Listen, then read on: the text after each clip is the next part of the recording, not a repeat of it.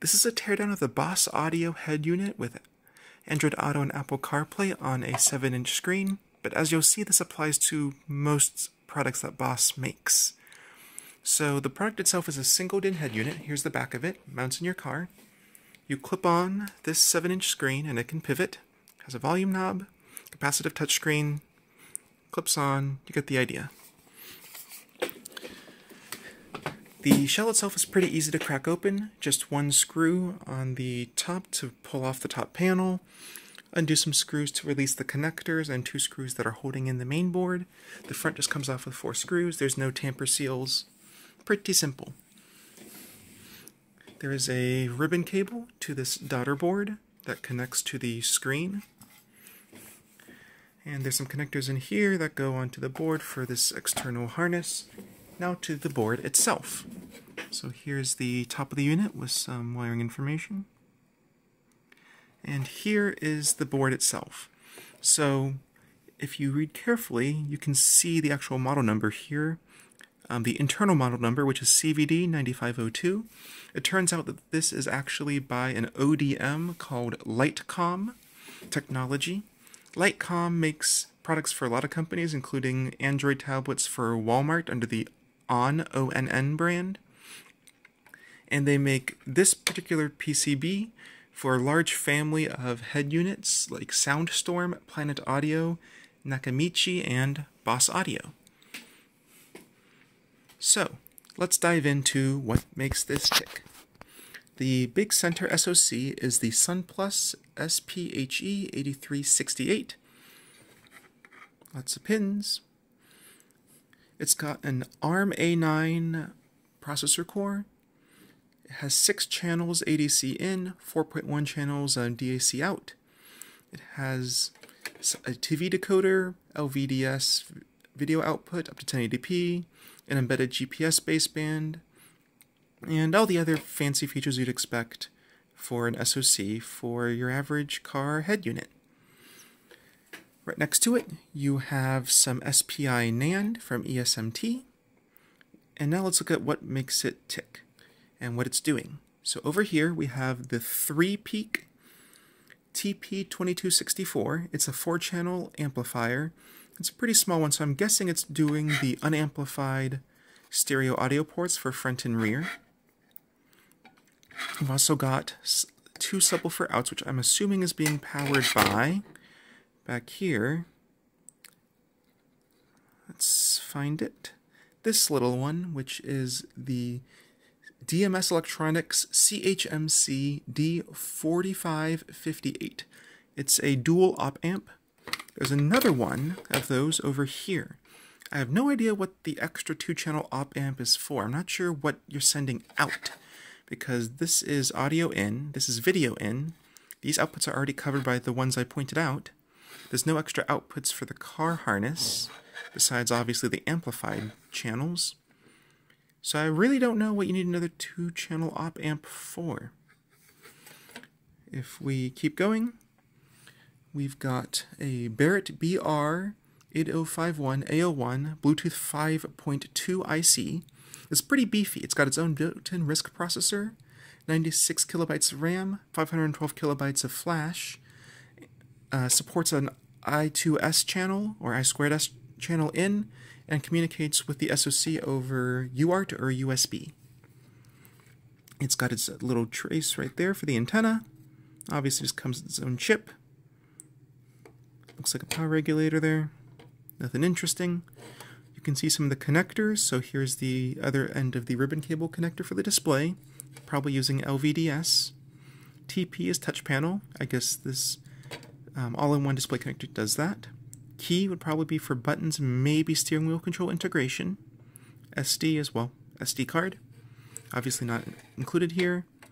Not sure what's going on over here and what it's connected to because those traces don't seem to go anywhere interesting. Kind of power related, kind of related to these. Could be anything, probably displays though, considering how many pins are on it. I'll stop speculating. Um, over here, obviously, you've got the power in, the fuse, you know, big ol' inductor and capacitor, some basic VRMs, I assume. This is an interesting little PMIC. that is specific to head units, and so it supports uh, putting out 3.3 volts for the main SoC, a 12 volt outline for the camera outs, which is this connector. Um, it can detect a few input lines and then step them down to a nice SoC safe voltage to detect the parking brake, if the um, headlight circuit is on for interior button illumination, if the reverse is on, if the car's accessory power is on, etc. And of course, it does your usual reverse protection, um, over voltage protection. You get the idea. Um, got some basic regulators, and that's about it on the front side. So we shall flip it over. On the back, we've got a few more components. I already see some regulators.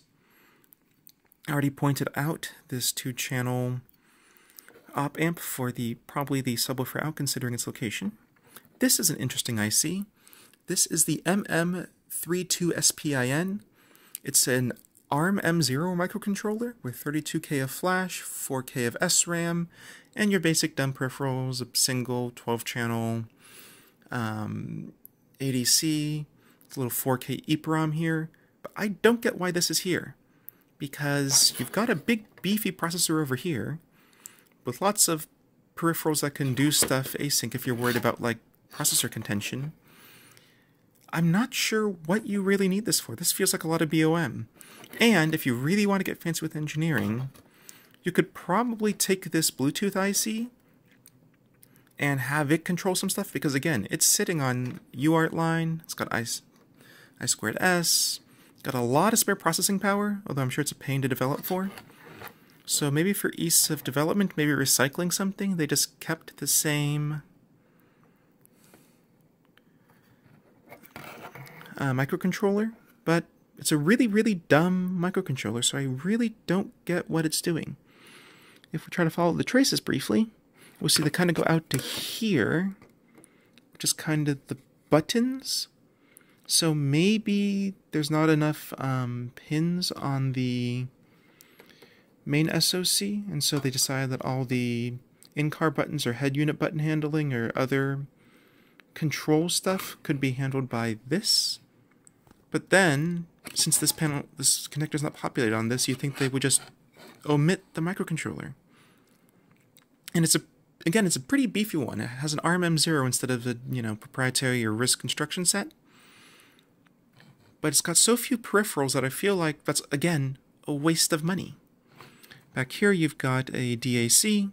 I'll just assume that this is what sends output over to the big ol' amplifier that then goes straight to the amplified outs.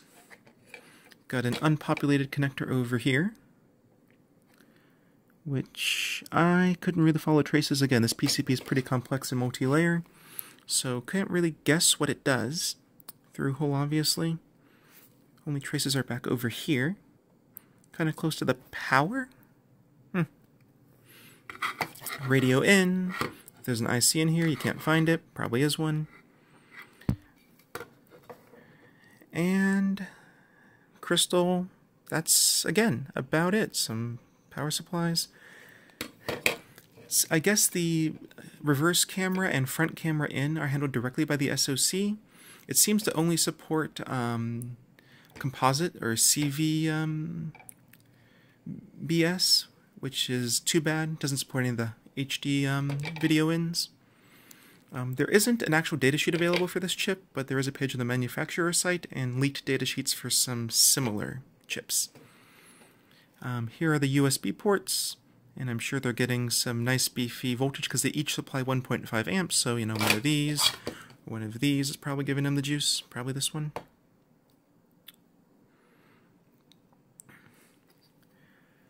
The only cooling on here is for the amplifier. I hope the main IC can get cool enough. Maybe that's what they're doing back here. So I'll just grab some thermal glue and a small heatsink and slap it on to stop this from overheating just in case. This is used for a lot of systems, especially since this SoC can output 1080p over LVDS, so I'm sure um, looking at the model numbers, this powers most of Boss's systems. Again, they're just white labeling from Lightcomm And so this probably powers their 8 inch, 9 inch, and 10 inch models. Um, not too many unpopulated um, actual sets of pads for additional ICs. So I'm guessing this is almost like the full um, set of components. Again, this is incredibly tiny. And so you can see how even inside this very narrow single DIN package, there really isn't a lot. I haven't installed this in my car yet. I just got it and tore it apart to check the internals. So no clue about the audio quality, but I've heard it's relatively good. And my Camry actually has its own amplifier from the factory that the previous radio installer bypassed, which made it sound like crap. So I might use the unamplified outputs anyway and maybe worry about my own subwoofer. But I'll stop blathering and finish this teardown and explanation of the internals. Pretty interesting look at how one of the cheapest name brand head units gets made? The answer is a bunch of really obscure companies dedicated to the space, and a weird ADC from Zarlink, specifically, I remember, I gotta read. There we go. The Zarlink 4366 that has no documentation at all. Just some, you know, spare salvaged ICs for sale. Zarlink got acquired in 2011, and this is obviously a pretty new design. So I'm kind of surprised they went with such an old one. I guess whatever was cheapest or what they could recycle from previous designs. Alright, thanks for watching.